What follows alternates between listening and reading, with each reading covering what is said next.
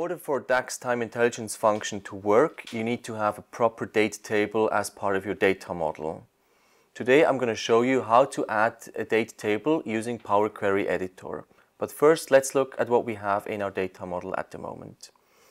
I have a basic sales table, which is our facts table, and around it we have four different lookup tables or dimension tables.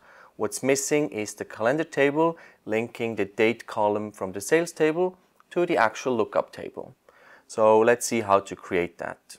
In Power Query Editor, I go to Get Data, and then I want to add a blank query because what I did is I copied a, a, a code which you can actually paste into Power Query Editor already.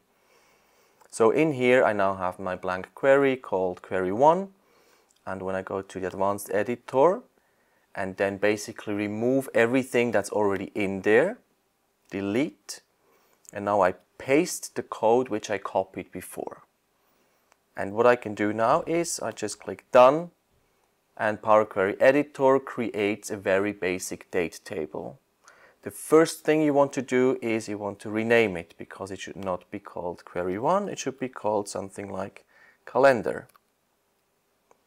And now, because most of the time you don't only want to filter by date, but also by year or month or quarter or week or something like that, you want to add more columns. In order to add more columns, you first need to select the date column, then go to add column, and then date. And let's just say we want to add the year. So you would here select year, which adds an additional column only showing the year. Let's add more columns. Let's also add a column showing the month number. Again, you showed it. Select the date column, go to add date, month, and month number adds a 1 for January. But then again, maybe you want to add the name of the month. So let's also do this. You select the date column. In add column, go to date, month, and then select name of the month. This will add January, um, but because January is quite a long word, you might also only want to show the short name. Um, so cut this down to only showing three letters. In order to do this, you select the column. This time we don't want to add a new column, but we want to transform the existing one. So you go to transform and then extract and we want to extract the first characters. And when you select this you then ask to say to indicate how many characters you want to show. In our case we want to show the first three characters. So I enter 3 click OK. And now this is cut down to only show Jan. And this is actually quite a nice date table already. Um, what you can do is once you're done you go back to home, click close and apply, and your new date table will be loaded into the Power BI data model. Now we just need to link it to the sales table. So you select the date column from the calendar table and you drag and drop and you drop it on the calendar or the date column of the sales table and basically now you're done.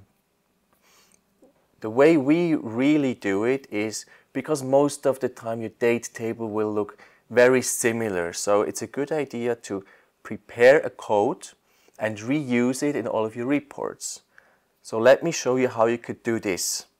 What I have here is the date, the, the code for the calendar table which I use in most of my reports.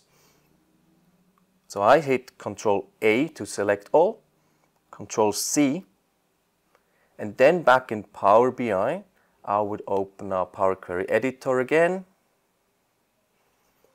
and navigate to the calendar table. Open the advanced editor. And instead of having the code we just prepared, I just delete this one, Control V to paste in the code from my saved notepad file which I use all the time to create calendar tables. Click done. And you can see that now I have the columns which I need in most of my report. And also every all the steps are named nicely. Um, and this is really the way to save a lot of time while you create a date table. And go back to home close and apply the new table including all the columns is now loading into the model and you're good to go with this table all your time intelligence functions will show the correct result just be sure to always link time intelligence functions to the date column from the calendar table. So now you learned how to add a calendar table using Power Query Editor. Uh, there's different ways to do it.